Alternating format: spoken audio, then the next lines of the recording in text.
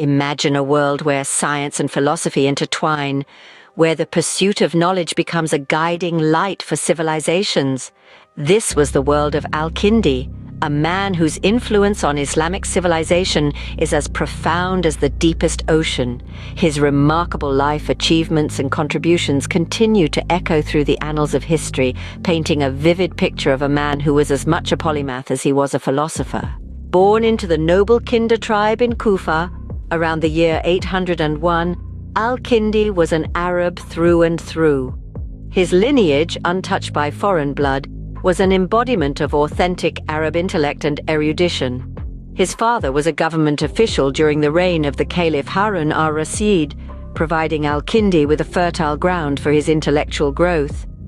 As a child, tragedy struck Al-Kindi's life when he lost his father.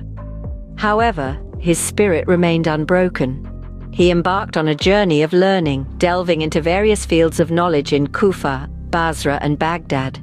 From religious studies to philosophy, from logic to mathematics, from music to astronomy, and from physics to medicine, Al-Kindi's thirst for knowledge knew no bounds. His genius was recognized by his contemporaries, with his contributions to philosophy and discoveries in medicine gaining particular acclaim.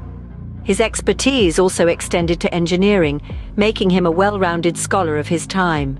However, this did not shield him from envy.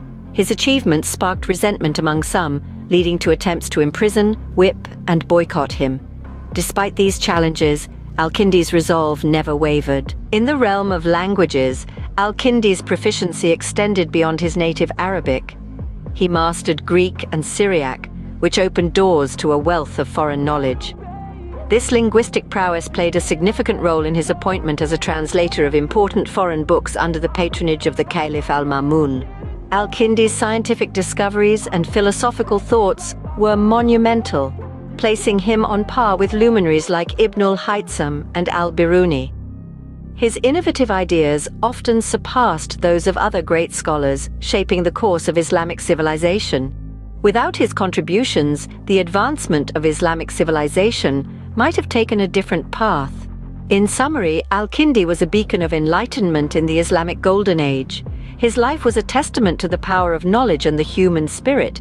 His achievements in various fields of science and philosophy laid the foundations for future generations of scholars. His contributions to Islamic civilization were transformative, reflecting his enduring influence.